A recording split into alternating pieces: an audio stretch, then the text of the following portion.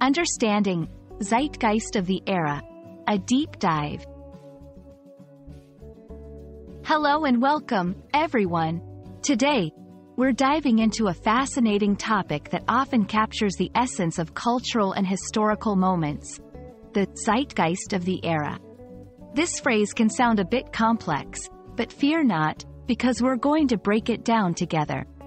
By the end of this video, you'll not only understand what it means but also be able to use it in your conversations and observations about different periods in history or current events. Let's embark on this linguistic journey together. First things first, let's dissect the phrase zeitgeist of the era to understand its components.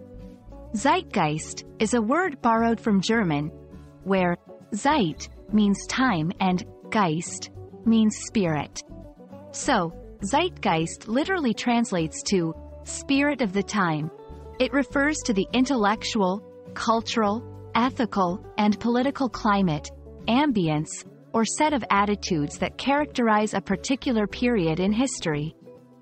When we add of the era to zeitgeist, we're specifying the time period we're talking about. An era could be a decade, century, or any significant period in history defined by distinct features or events. Thus, the zeitgeist of the era is about understanding the prevailing attitudes and trends that define a specific historical moment.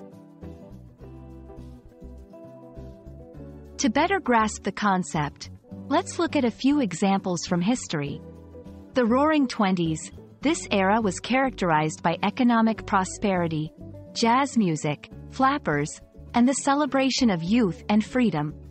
The zeitgeist of the 1920s in many Western countries was one of rebellion against traditional norms and embracing new styles of expression. The digital age, our current era might be described by future historians with a focus on the rise of the internet, social media, and digital communication. The zeitgeist of our time could be defined by connectivity, technological innovation, and a shift in how we perceive privacy and community. These examples show how the zeitgeist captures the essence of each period's unique characteristics and values. Why is it important to understand the zeitgeist of an era? Well, it helps us comprehend the motivations and actions of people living during that time. It also allows us to recognize patterns in human behavior and societal evolution. For students, historians, and curious minds, understanding the zeitgeist is crucial for deepening our knowledge of human history and culture. Moreover, recognizing the zeitgeist of our current era can inform predictions about future trends and shifts in society. It's a powerful tool for analyzing cultural evolution and understanding how historical events shape collective attitudes and beliefs. I hope this exploration of the zeitgeist of the era has illuminated this intriguing concept for you.